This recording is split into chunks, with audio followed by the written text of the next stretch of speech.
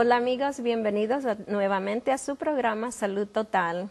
Hoy tenemos un tema de mucha importancia para cada uno de ustedes, no solo para aquellos que ya están pasando estos problemas, sino para aquellos que pueden aprender y evitar llegar a, esa enfermedad. Pero tenemos con nosotros hoy un doctor muy especial, ya lo han conocido anteriormente y está visitándonos nuevamente. Y su nombre es el, el doctor Pedro Torres. Bienvenido, doctor. Mucho gusto, Irma. Qué bueno que podamos estar aquí y que podamos ser una bendición para todos los que nos escuchan en este día. Y doctor, entonces ya lo conocemos un poquito porque pues sabemos que ya usted trata con eh, la medicina natural, y, pero cuéntenos un poquito porque no, lo, no lo hemos visto hace un tiempito. Bien, pues yo eh, definitivamente tengo muchos años de estar involucrado en el campo de la medicina natural. Eh, por la gracia de Dios, más de 20 años, casi 30 involucrado en lo que es la medicina natural, pero más tarde entendí la necesidad de prepararme profesionalmente de una manera más eh, legal. Y nos hicimos nutricionistas y más adelante, por la gracia de Dios, terminamos el doctorado en medicina y desde allí hemos hecho muchos posgrados, muchos posgrados hemos eh, tenido el privilegio de hacer, todos en el campo principalmente de la salud.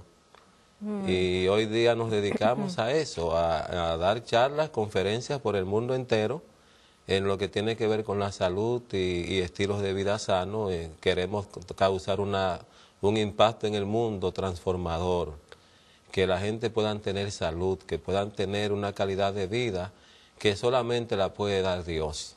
Mm, y queremos ser instrumentos de Él para que esa, ese mensaje de transformación pueda llegar a nuestras vidas, a la vida de todos aquellos que nos puedan ver y escuchar donde quiera que Dios nos lleva. Bueno, es un privilegio tenerlo aquí con nosotros porque sabemos que trae mucha experiencia y mucho conocimiento. Y este día ah, vamos a hablar entonces de algo, eh, de una enfermedad que eh, cuando ya llegamos a cierta edad empezamos a tener un poquito de temor, que lleguemos a, contraerla y se llama el Alzheimer's. Así ah. es, así es. Vamos a hablar un poco sobre el Alzheimer porque el Alzheimer es una enfermedad que realmente da miedo. Eh, Benjamin Franklin decía que las riquezas no son de quien las posee, sino de quien las disfruta. Mm, de modo que de nada sirve que tú tengas tremenda mansión y tremendas facilidades si tienes que madrugar todos los días a trabajar y llegar muy tarde en la noche y no la puedes disfrutar en realidad los que son ricos son tu servidumbre.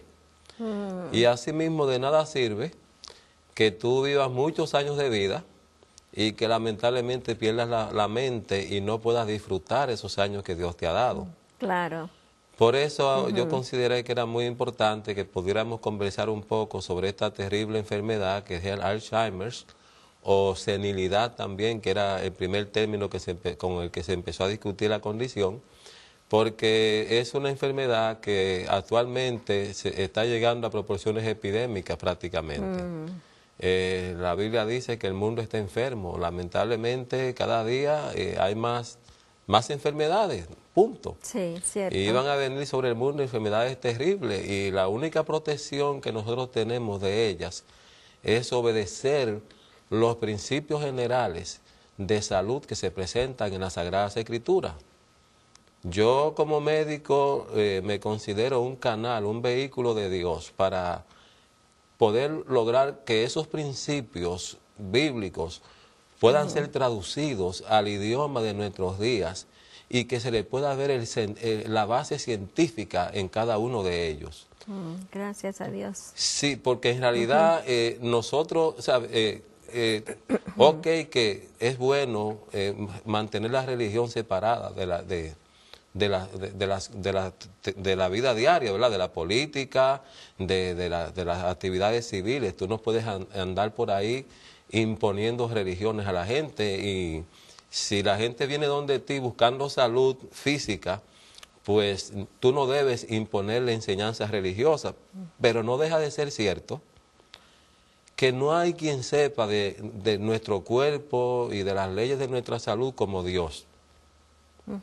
Y el único libro autoritativo al que se le puede, se puede decir que Dios fue quien lo inspiró es la Biblia.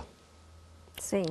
Y entonces, por lo tanto, nosotros como, como científicos, como personas interesados en la salud, tenemos el solemne privilegio de siempre que queramos aprender algún principio importante sobre, sobre la salud, ir donde? A la Biblia, reconociendo que, que, su autor, su autor intelectual, es la persona que más sabe de salud. Entonces, doctor, usted nos dice que la curación de cualquier enfermedad no está solamente en ah, aprovechar los, los medios eh, científicos y aún los medios de salud, aún de, naturales, sino también que tenemos esa, es, esa, ah, esa área especial que es la espiritualidad, la relación con Dios. Sí, el apóstol Pablo dice que Dios ha fijado los tiempos de la gente para que busquen a Dios, si acaso palpando le hallen.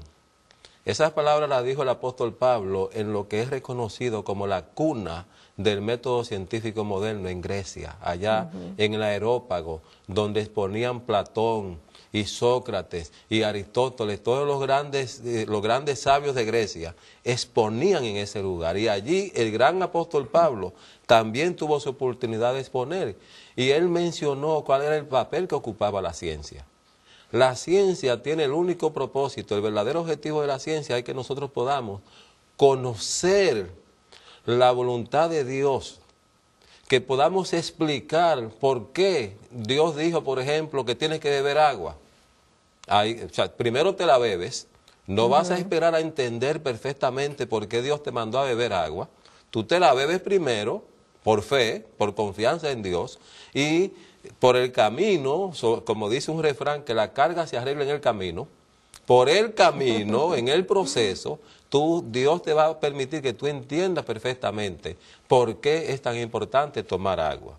Entonces Dios nos ha dado unas leyes, hablando ya más específicamente del Alzheimer's. Dios fijó leyes para nuestra mente, leyes inviolables. Leyes que traen una consecuencia, de, tú sabes, tú brincas de un quinto piso y definitivamente no vas a, flotar a la atmósfera, vas a caer a, tierra porque hay una ley que se llama la ley de la gravedad, que sencillamente eh, hay una fuerza que nos atrae y nos mantiene sobre la tierra y la única forma de superar esa, esa fuerza es ejerciendo una fuerza que pueda ser mayor que ella. Mayor. Y por eso, porque hemos logrado dominar un poco sobre esa fuerza es porque lo que existen los aviones, los helicópteros y, los, ¿verdad? Los, cohetes espaciales. Entonces, ¿en qué consiste esta enfermedad, doctor, de, Alzheimer? Entonces, el Alzheimer básicamente es una enfermedad en la cual la persona pierde, va perdiendo sus facultades mentales. Va perdiendo sus facultades mentales, o sea, empieza a ser olvidadizo, o sea, no, un, no no olvidar cosas así como, por ejemplo, dónde dejaste el carro estacionado, no olvidar quizá dónde dejaste una tarjeta, sino que la persona empieza a olvidar eventos completos. Y empieza a olvidar cosas que sencillamente no, tú no puedes imaginar que alguien las pueda olvidar. Por ejemplo, que a ti se te olvide cocinar, que se te olvide cómo manejar un vehículo, que se te olvide que conoces a una persona, por ejemplo, ¿verdad? Conocemos, he visto casos de señoras, esposas llorando triste y, desconsoladamente porque su compañero de todas las vidas ya no las reconoce mm. por los avances del Alzheimer. Entonces, eh, eh, esta enfermedad consiste, o sea, en los síntomas que empezamos a ver, no son eh, olvidadizos a cosas pequeñas, no olvidamos cosas pequeñas, sino es cuando es algo mayor. Sí, de mayor envergadura, a pesar de que los eh, muchos expertos eh, eh, dicen en sus escritos que cuando tú empiezas a ser más olvidadizo ya de lo común, que empiezas a olvidar demasiado las cosas, pueden ser los síntomas tempranos. Síntomas tempranos, porque a veces a mí me da un poquito de temor porque eh, cuando encuentro que me olvido de esto y el otro, empiezo a pensar. Mm, bueno, ahí entran, las, ahí entran las palabras del rey David. Entran las palabras del rey David que dijo, en el día que temo yo en ti confío. Mm, amén. O sea, uno realmente nunca vamos a obedecer perfectamente todos los requisitos ideales de nuestra salud. Sí. Uno trata. Claro. Pero ese, en ese tratar está la confianza en Dios, porque entonces yo hago mi parte y lo que yo no puedo dominar le dejo los resultados a Dios. ¿eh? Eso es tan cierto, doctor, porque yo lo he experimentado en mi vida propia. he hecho tantos esfuerzos eh, para perder peso, para estar más saludable y siempre hay obstáculos que uno tiene que estar luchando con esos obstáculos. Al fin tiene que decir, Señor, ayúdame porque no, no tengo la fuerza de voluntad muchas veces o, así es, o hay muchos obstáculos que no puedo sobrellevarlos y tiene uno que ir donde Dios a que nos ayude en eso, es cierto. Sí, porque mira, la Biblia dice, si Jehová no velare la, la ciudad, en vano vela la guardia. Si Jehová no edificare la casa, en vano trabajan, afanan, se afanan los que la edifican. O sea que hay, un componente de, la voluntad humana y el poder divino. Y eso atañe a nuestra mente. Ahora vamos a ver un poquito.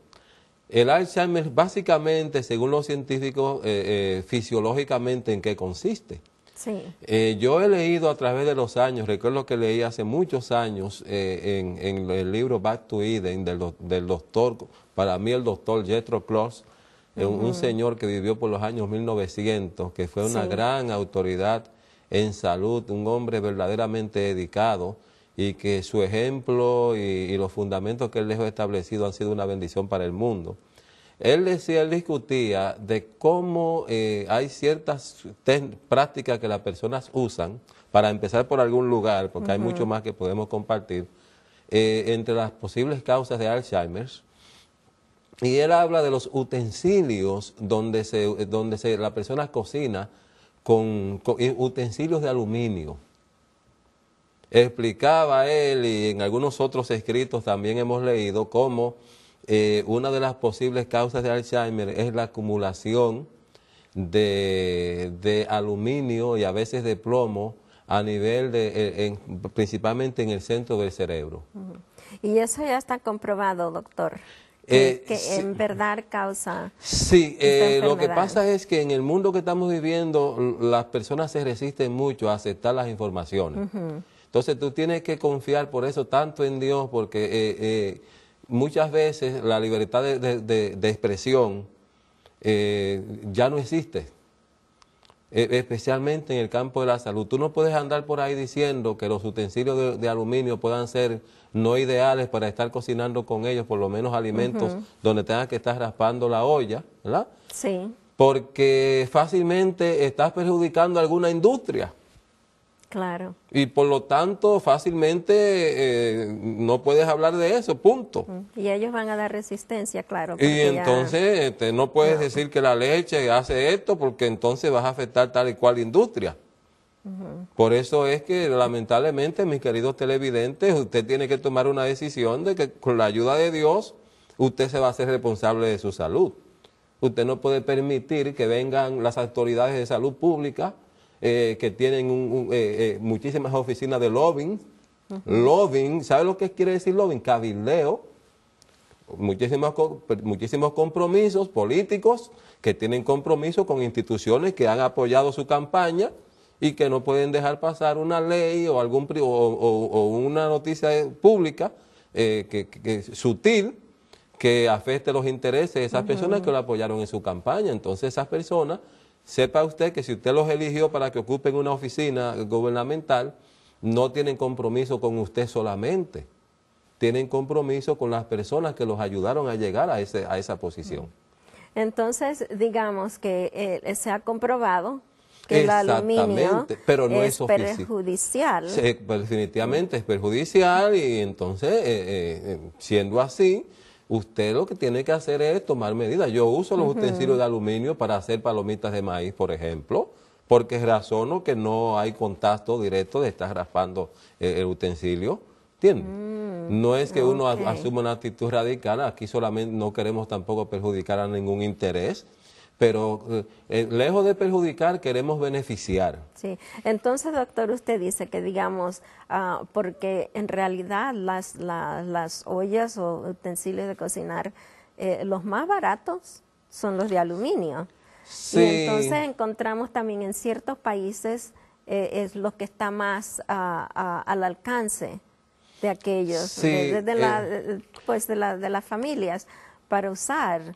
Y entonces, pero usted dice que no es exactamente el, el material sino cómo usted usa esa clase de utensilios. Sí, porque entonces al hacer el contacto eh, eh, abre unos poros también eh, por la exposición al calor y viene entonces el, problema de que se pueden almacenar algunas bacterias y demás, ¿entiendes? Eso nada más ya sería un tema solamente hablar de eso. Sí. Y no que entonces vaya y no nos daría el tiempo para hablar un poquito, por lo menos lo más esencial sobre el Alzheimer's. Entonces, el Alzheimer, una de las grandes causas eh, fisiológicas por lo que ocurre el Alzheimer es porque los, los neurotransmisores, de, especialmente la acetilcolina, en la persona empieza a desaparecer. Los neurotransmisores son sustancias que viajan de un nervio a otro, así como si este fuera un nervio y este es el otro, salta la información a través de esas sustancias químicas. Entonces, eh, en el estilo de vida que la gente está viviendo, eh, muchas veces la producción de esos neurotransmisores se debilita grandemente. Por ejemplo, eh, por el uso del alcohol, por el uso del cigarrillo, el, el uso de las drogas como las, las, metilsantinas, de las cuales la reina viene a ser la cafeína. Eh, ese tipo de esas drogas tienden a debilitar la producción, el sistema nervioso en general y va a hacer que se debilite eh, el, el, impulso nervioso que va de uno al otro, y, eh, de un nervio al otro y, y eventualmente la persona puede debutar o ir desarrollando un Alzheimer, que no es otra cosa que una enfermedad autoinmune también. Una enfermedad autoinmune es aquel tipo de enfermedad en la cual el organismo pierde su inteligencia, el sistema inmunológico del individuo pierde su inteligencia inmunológica. Y en ese proceso pues empieza a atacar y a destruir sus propios tejidos. Y, y ese y, entonces a medida que se va eh, avanzando esa condición se produce como un moco, un moco que se llaman los cuerpos mieloides, que son como unas fibrillas que se van acumulando sobre el nervio y van eh, sobre la célula y van impidiendo su producción normal de la mm. acetilcolina y de otros neurotransmisores y la persona va perdiendo la mente. Entonces, eh, lo que quisiéramos lograr es frenar ese proceso autoinmune, frenarlo, y de tal manera que si fuera posible pudiéramos lograr que ese nervio se regenere.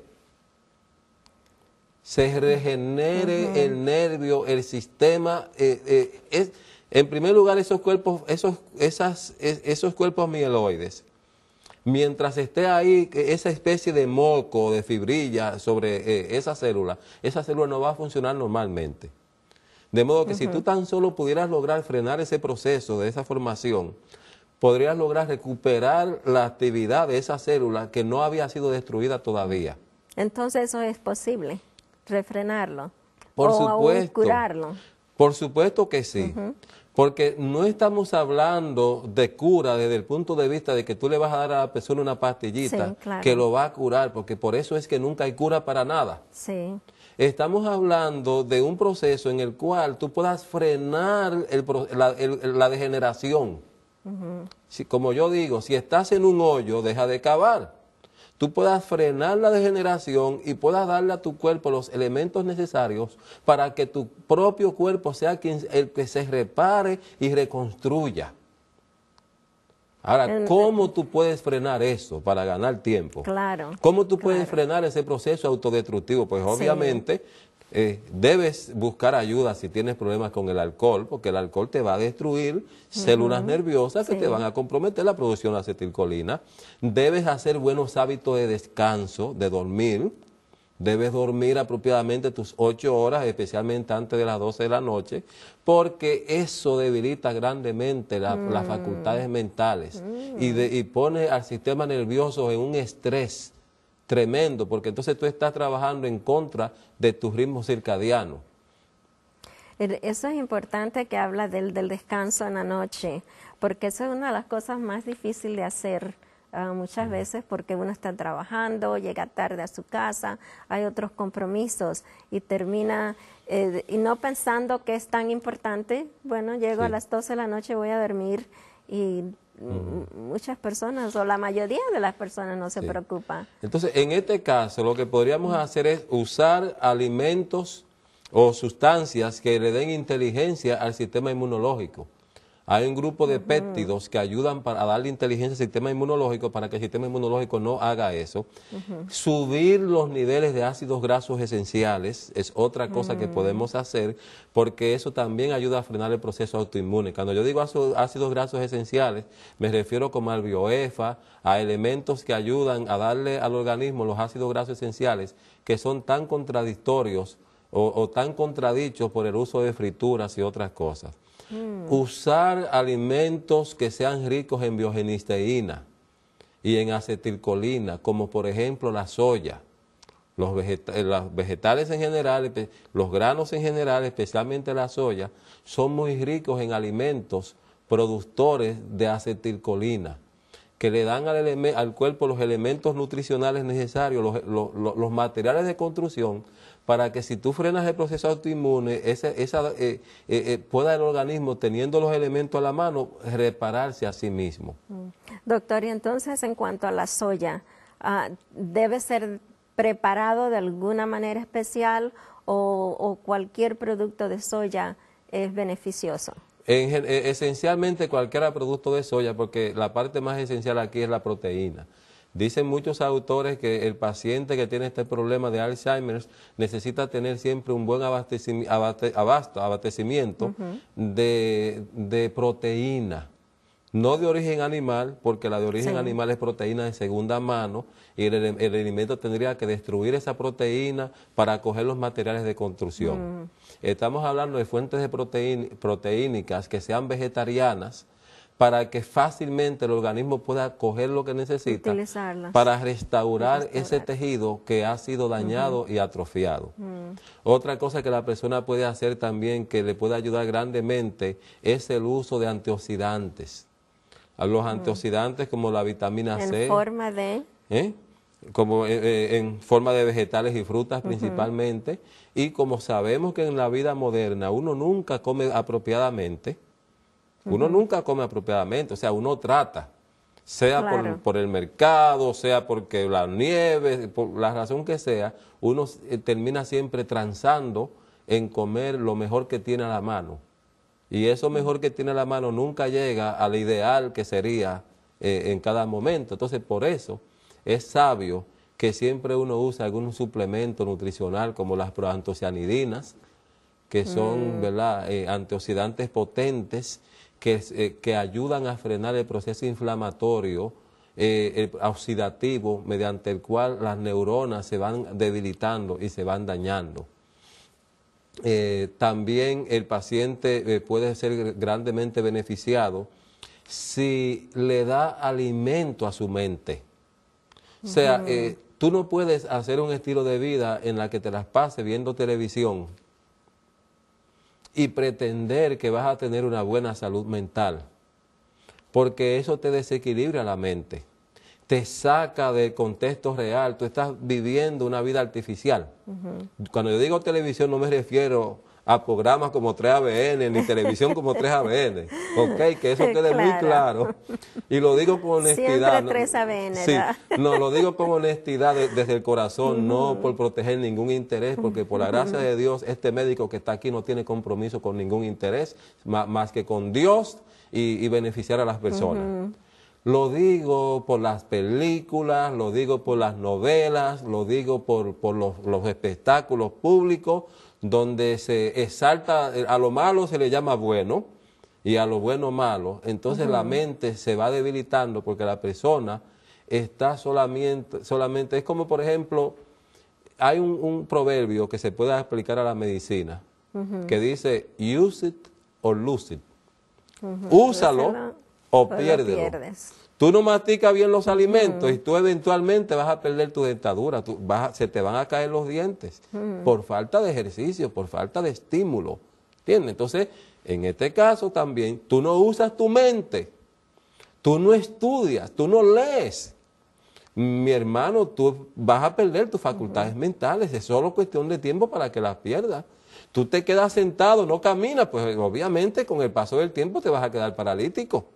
Así que entonces es esencial para evitar el Alzheimer, no solo lo que comemos, la alimentación del cuerpo, sino la alimentación mental, el cuidado mental. Exactamente, porque según mm. conforme tú estás estudiando, estás forzando tu mente, estás tratando de memorizar algo, se crean nuevos circuitos eléctricos en tu cerebro. Eso, eso me llega a acordar que estaba leyendo este libro y estaban este doctor hablando lo importante de memorizar, de, coger eh, especialmente un pasaje bíblico y memorizarlo. Exactamente, por eso es que usted dice que la escritura dice, nunca se aparte de, de ti este libro de la ley, sino que de día y noche meditarás en él. Es un ejercicio mental. No hay ahora mismo conocido ningún instrumento de fortalecer la mente humana desde el punto de vista intelectual que la lectura diaria de las Sagradas Escrituras, la palabra de Dios, la Biblia. Qué lindo, doctor, porque en verdad Dios nos dice que esa es nuestro, eh, nuestra bebida y nuestra comida. Exactamente, nuestra ciencia. sí. Si nosotros hacemos eso y seguimos los sencillos principios de sano vivir, no hay por qué nosotros no podamos frenar un, problema de, Alzheimer. Y luego con los elementos que ya mencioné, eh, que, antioxidantes, problemas, sustancias que le den inteligencia al sistema inmunológico, podemos lograr eh, que el proceso de recuperación de, del Alzheimer se pueda activar. Doctor Torres, lástima que el tiempo se nos va tan rápido pero quiero darle las gracias y quiero darle unos segundos para que pueda darnos un último consejo. Yo lo que creo es que la, Biblia lo dice, disculpen, no quiero predicarles un sermón, yo quiero hablarles de salud. Pero la Biblia habla claramente de que el Señor, desde que nos creó, desde que éramos niños hasta que lleguemos a la edad, a la, a la ancianidad, hasta ahí Él estará con nosotros. Y si nosotros confiamos en Él, Él nos va a proteger nuestra mente y nos va a ayudar a recuperarla para que tengamos vida. Gracias amigos por haber estado con nosotros.